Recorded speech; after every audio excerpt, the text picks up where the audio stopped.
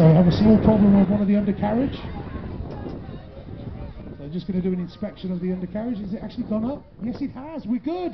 Thank goodness for that.